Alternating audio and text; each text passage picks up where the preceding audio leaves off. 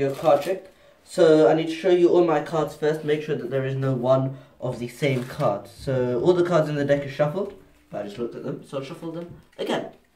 Okay, so put all the cards in the deck, all nice and shuffled. Okay, shuffle the cards out. Okay, so now all the cards in the deck is in random order. I need you to pick a card, please. Because you can pick any card. Are you 100% sure? Okay, show the cards to everyone. Right? So now what I'm going to do is I'm going to take the card, place it in about the middle of the deck, cut it a few times, and shuffle. So I'm just trying to get your card lost inside the deck like that. And I'll just shuffle it again. So I'm shuffling your cards, trying to get it lost. So now, I don't know where your card is. I don't think you know where your card is unless you're like a magician. Um, I'm going to be uh, doing this shuffle. It's called a crazy shuffle. Um, what's happening is some cards is going to be turned over, some cards is going to be turned down. Um, so just changing the orientation of the cards, um, basically messing the cards up.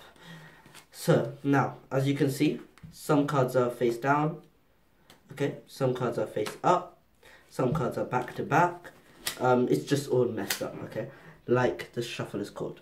Now I'm just gonna place the cards down. I'm not gonna do anything with them. Um, what was your card? I don't know your card. Only you know your card. What was your card? Nine of spades.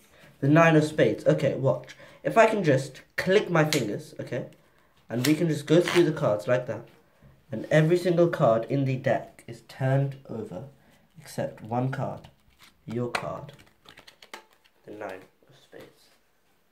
Thank you.